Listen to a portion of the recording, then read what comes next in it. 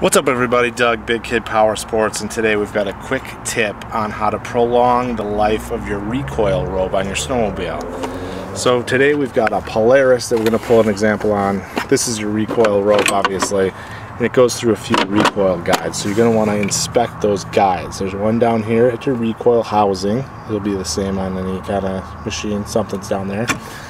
And this one, we've got another one tucked up under here and then there's a third one where it comes through the dash here. So just inspect all of those and make sure they're not cut make sure they're not uh, digging into the rope. They're typically plastic so they kind of the rope starts breaking away at them get all grooved out. Um, and if they are you want to replace those. Those you know every time you pull the recoil they're going to start digging into your rope fraying away at it. Another quick tip is to pull straight out so you're not rubbing on everything. And maybe use a little paraffin wax or a bar of soap on, uh, on your rope. And that should prolong the life a little bit. You get a little more out of it so you're not snapping it and having to uh, put new rope in it all the time